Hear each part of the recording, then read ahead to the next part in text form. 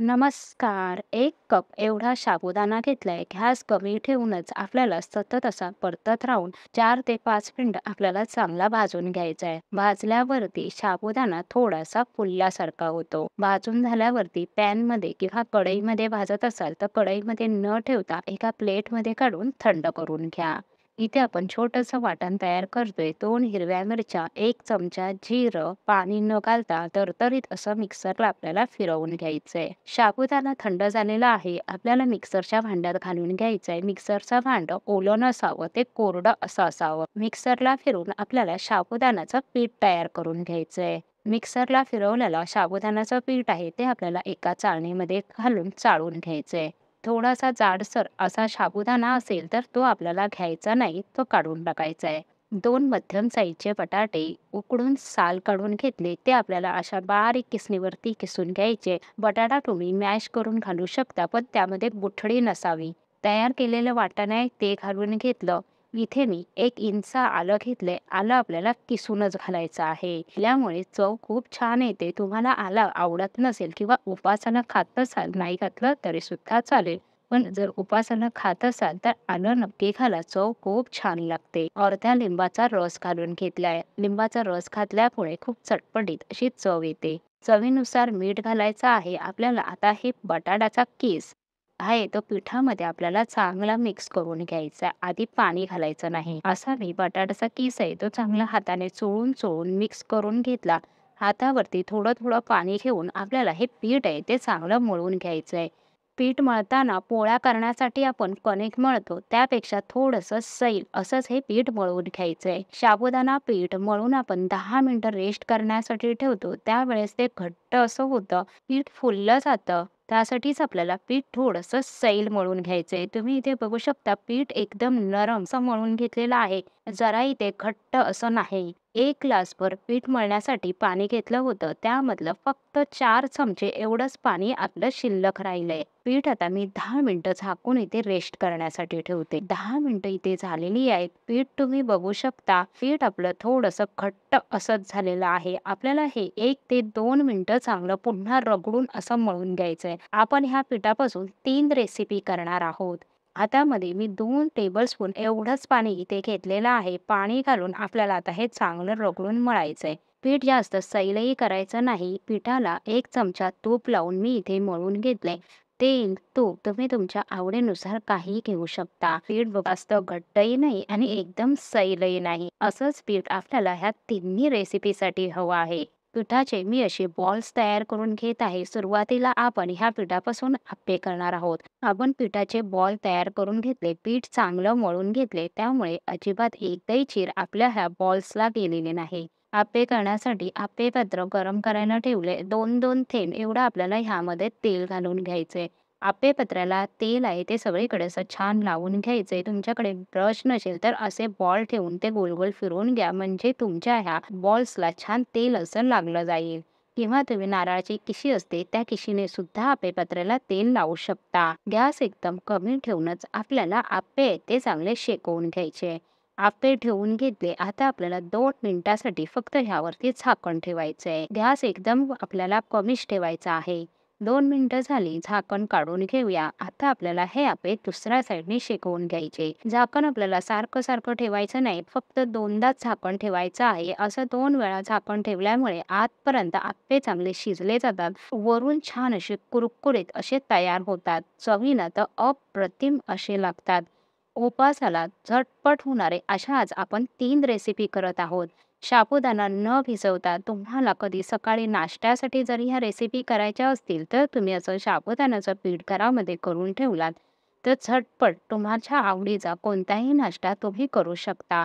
पुन्हा मी दोन मिनिटासाठी झाकण ठेवून घेतलेलं आहे. आता झाकण काढून घेतलं. आपल्याला दोन मिनिटानंतर आपण झाकण काढून घेतले. पुन्हा आपल्याला ह्यावरती आता झाकण ठेवायचं नाही. सगळीकडून एकाच रंगावरती आपल्याला छान कुरकुरीत असे हे आपेत शेकून घ्यायचे. दोन दोन थेंब मी पुन्हा इथे तेल घालून घेतले तुम्हाला तेल घालायचं नसेल, नाही घातलं तरी सुद्धा चालेल. इथे बघू शकता अगदी छान आपले कुरकुरीत एकाच रंगावरती छान आपले आप्पे शेकून तयार झालेले आहेत. आपण हे आप्पे काढून घेऊया.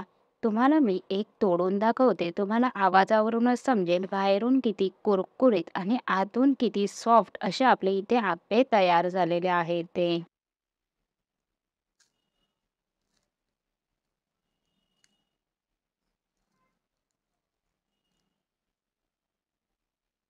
तयार केलेल्या पिठापासून झटपट होणारी उपवासाची दुसरी रेसिपी. हाताला थोडंसं तेल लावून घेतले. पिठाचा गोळा असा हातावरती छान गोल करून दोन्ही हातांनी असा तापवून घेतलाय. आपला इथे साबुदाणा वडा तयार झालाय. वड्याला बघाल तर एकही क्रॅक केलेला नाही. असा आपण हा वडा अगदी झटपट असा तयार करून घेतलाय. आपण तळून घेऊया. तळण्यासाठी तेल चांगलं गरम करून घेतलंय. गॅस मध्यमच ठेवून आपल्याला वडा तळायचा आहे. गॅस कमी ठेवून वडे तळलात तर तेलकट होतील आणि मोठा ठेवून तळलात तर ते बाहेरूनच तळले जातील, आतून कच्चे राहतील. वरतून असं तेल सोडत राहायचंय. तुम्ही इथे बघितलंच असेल. वडा किती छान टम्म असा फुललेला आहे. छान सोनेरी रंगावरती आपल्याला हे तळून घ्यायचे. साबुदाणा पिसवायला विसरलात किंवा वडा तेलात फुटतो म्हणून जर तुम्हाला वडे करायला भीती वाटत असतील तर तुम्ही ह्या पद्धतीमध्ये वडे करू शकता. चवीला अगदी तसेच लागतात. झटपट अगदी दहा मिनिटामध्ये साबुदाणा वडा, आप्पे किंवा आता आपण बघणार आहोत साबुदाणा पराठा. तुम्ही दहा मिनिटात कोणताही तुमच्या आवडीचा नाश्ता तुम्ही करू शकता. आवाज ऐका.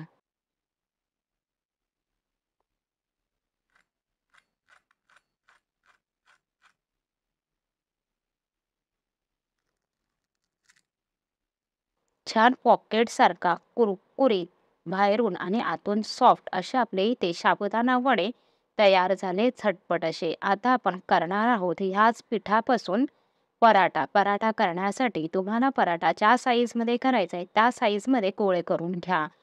मी इथे गोळा करून घेतलेला आहे. पराठे आता आपल्याला लाटून घ्यायचे आहे. पराठे लाटण्यासाठी मी इथे जे आपण साबुदाणा पीठ तयार केलं त्यातलंच थोडंसं पीठ मी काढून ठेवलं होतं. हेच पीठ मी इथे लाटण्यासाठी घेतले. तुमच्याकडे उपवासाचं कोणतंही पीठ असेल ते तुम्ही इथे घेऊ शकता. पीठ जरी नसेल तरी सुद्धा मी पीठ न लावता कसा पराठा लाटायचा तेही दाखवणार आहे. पराठा लाटते तुम्ही बघाल सहज पराठा लाटता येत आहे. चिकटतोय असं वाटल्यास थोडंसं सुखपीठ पीठ लावून घ्या. चिरा जास्तीच्या पडलेल्या नाहीत. हलक्या अशा चिरा आलेल्या आहेत त्या तुम्ही बोटाने सरळ करून घ्या. पराठा मी जसा लाटते तसा लाटता येतो ह्यावरूनच तुम्हाला समजलं असेल पीठ आम्ही किती चांगलं असं मळून घेतलंय. अजिबात जास्त घट्टही नाही आणि एकदम सैलही नाही. इथे आता आपला साबुदाणा पराठा मी लाटून घेतलाय. कडा आहेत त्या सरळ करून घेतलाय बोटाने. तवा चांगला गरम करून घेतलाय. गॅस मध्यम ठेवून आपल्याला पराठा शेकून घ्यायचा आहे. पराठा शेकताना तेल, तूप तुम्ही तुमच्या आवडीनुसार काहीही इथे लावू शकता.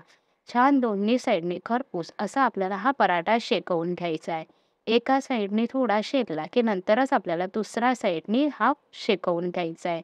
दुसऱ्या साईडने शेकताना सुद्धा थोडंसं तेल, तूप तुम्ही घालून घ्या तुमच्या आवडीनुसार. तुम्ही बघाल तर पराठा अगदी छान आपला टम्म असा फुलून आलेला आहे. आपला इथे दुस तिसरी रेसिपी साबुदाणा पराठा सुद्धा तयार झाला. तुम्हाला जर सुकं पीठ लावून पराठा लाटायचा नसेल किंवा सुकं पीठ नसेल, तुम्ही ठेवायला जरी विसरलात तरी सुद्धा तुम्ही पीठ न लावता हा साबुदाणा पराठा तयार करू शकता. इथे मी पॉलिथिन पिशवी घेतलेली आहे. कोणताही पॉलिथिन पेपर घ्या. त्याला तेल, तूप अगदी एकदाच लावून घ्या. सारखं सारखं लावायची आवश्यकता नाही. गोळा ठेवून घ्या. त्यावरती दुसरा पॉलिथिन पेपर असा ठेवून घेतला. एखादी प्लेट घ्या आणि त्या प्लेटने वरून असं प्रेस करून घ्या. तुम्ही बघू शकता आपला न लाटता झटपट असा इथे पराठा तयार झालाय. प्लेटला डिझाईन आहे त्यामुळे ती पराठ्यावर आलेली आहे. तुम्ही एखादी प्लेन डिश घेऊ शकता. आता तुम्हाला हा पराठा प्लेटने जरी नसेल करायचा, लाटून करायचा असेल तरी सुद्धा तुम्ही लाटून सुद्धा करू शकता. इथे बघू शकता जास्तही पातळ नाही आणि एकदम जाडही नाही. छान आपला इथे पराठा तयार झाला आहे लाटून जरी करायचं असेल तर तुम्ही लाटून सुद्धा हा पराठा करू शकता. त्यासाठी आपल्याला पिठाचा गोळा पॉलिथिन पेपरवरती ठेवून लाटणीने पॉलिथिन पेपरवरती ठेवून जसा आता मी तुम्हाला इथे लाटणीने लाटून दाखवते तसाच तुम्ही तो लाटून घ्या. एखादा गोळा ठेवा पिठाचा आणि लाटून घ्या. अजिबात न चिकटता, न पीठ लावता तुम्हाला हवा त्या साईजमध्ये लहान, मोठा, जाडा, पातळ तुम्ही कसाही इथे पराठा लाटू शकता. आप आपल्या इथे सुकं पीठ न लावता पराठा सुद्धा मी तुम्हाला करून दाखवला. तुम्हाला हवा तसा तुम्ही पराठा करू शकता. हाही पराठा बघाल तर अगदी छान टम्म असा फुलून आलेला आहे. ह्याच पद्धतीत मी माझे बाकीचेही पराठे आहेत ते आता इथे सर्व करून घेते. रेसिपी आवडल्यास लाईक, शेअर, सबस्क्राईब करायला विसरू नका. चॅनलला सबस्क्राईब केलं तर येणाऱ्या अशाच नवनवीन रेसिपी तुम्हाला पाहता येतील. इथे आपले साबुदाणा पराठा सुद्धा झटपट तयार झालाय. मी तुम्हाला एक तोडून दाखवते. एकदम मऊ लुसलुशीत जरी सकाळी केलात, संध्याकाळी काय रात्री खाल्लात तरी ते जसे आहेत तसेच राहतात. तुम्ही हे पराठे दह्यासोबत, चटणीसोबत उपासाच्या खाऊ शकता. आज आपण साबुदाणा पिठापासून उपास असो किंवा नसो, घाई-गडबडीची वेळ असेल, झटपट कोणता नाश्ता करायचा असेल, तोच तोच नाश्ता खाऊन कंटाळा आला असेल, तुमच्याकडे साबुदाणा किंवा साबुदाणा पीठ जरी असेल तर तुम्ही दहा मिनिटात तुमच्या आवडीचा साबुदाणा वडा असू दे, साबुदाणा आप्पे किंवा साबुदाणा पराठा तुम्ही झटपट करू शकता. भेटूया पुन्हा लवकरच नवीन रेसिपीसोबत. नवीन व्हिडिओमध्ये रेसिपी संपूर्ण पाहिल्याबद्दल तुमचे मनपूर्वक धन्यवाद.